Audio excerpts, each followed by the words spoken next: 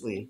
Because at this point, it's just like, damn, you know, what what what better position is there to be of God and to be like God?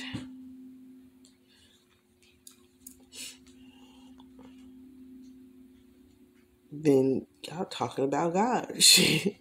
That's horrible. Don't do it. Don't do it. That is true. Look, my nail broke. That one was already broke. I just bent it and just tore it off today.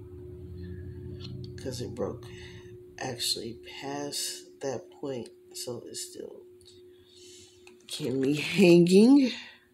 It's a little bit, yeah. But I ain't turning this shit off because it's already sent. This part is tender already.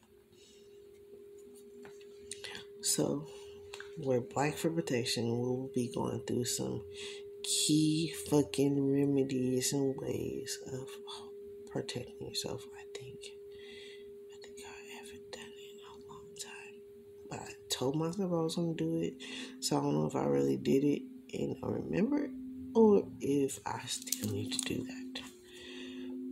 Just a refresher because this was months ago to last year, really, when I started doing the root chakra, the sacral chakra, and the solar plexus, and the direction of how they are all survival, which is your lower chakras, which is horrible to stay in because like we know, a lot of people. Now we know how a lot of people skip past those fucking chakras and just jump to the fucking money.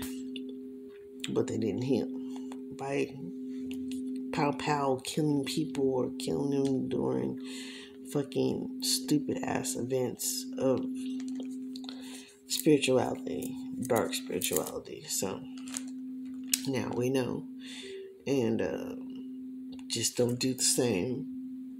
Heal your inner child, and that is what I am here for is healing the inner child.